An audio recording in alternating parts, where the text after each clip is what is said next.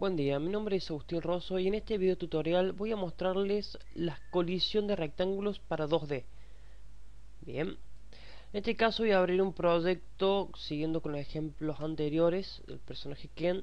Le he agregado un rectángulo para ver para que pueda hacer la colisión.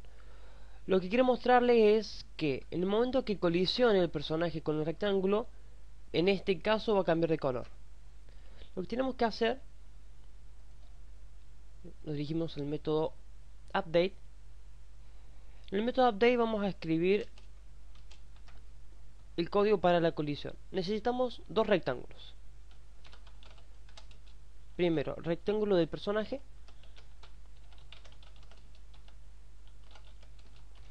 que es igual a un nuevo rectángulo. Y nos pide estos parámetros. La posición en X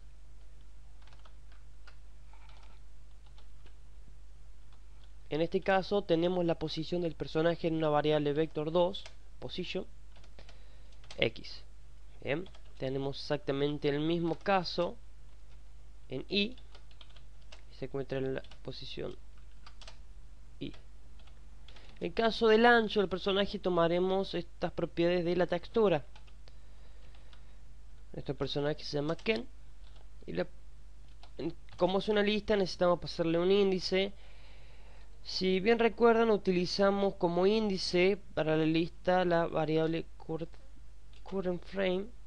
En este caso también podría ser 0, porque ya que todas las texturas tienen el mismo tamaño. Punto width tenemos el ancho. Por último,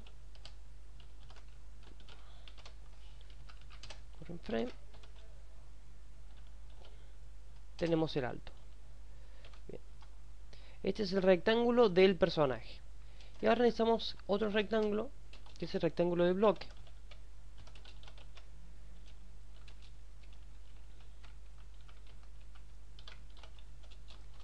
Que es igual a un nuevo rectángulo. Bien.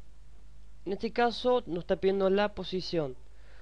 Para la posición del rectángulo utilicé la variable block position. Haremos exactamente lo mismo en el caso el caso anterior convertimos el valor de la propiedad de la posición en un entero ya que como pueden ver en este caso es un float por eso hacemos el casteo a un entero a un int.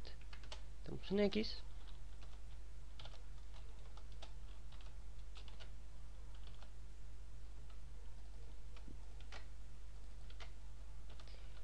Y tenemos un i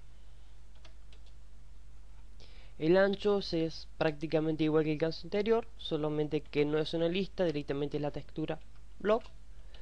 Ponemos el ancho y ponemos el alto. Bien, hasta ahí tenemos las texturas. Ahora hay que hacer el condicionador. Para que cambie el color del personaje va a haber que cambiar este valor que definimos anteriormente, que el color, por una variable. Dijimos el encabezado color. Que en color en este caso es blanco. Y vamos a reemplazar el valor de la variable por este valor fijo que habíamos sentido anteriormente. Muy bien. Ahora en el método update nuevamente haremos el condicionador. Que el color del personaje va a ser igual. Si Si el rectángulo del personaje intersecta con el rectángulo del bloque,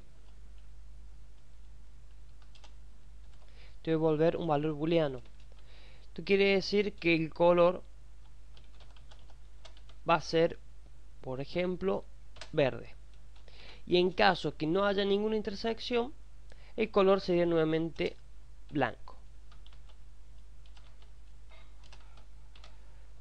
bien verificamos que compile ahora ejecutamos y podemos desplazar con las teclas que habíamos visto anteriormente el personaje y como pueden ver cuando hace la intersección el personaje cambia de color tengan en cuenta que esto es una intersección de rectángulo bien es posible que no sea muy precisa ya que el dibujo abarca más de lo que en realidad se ve.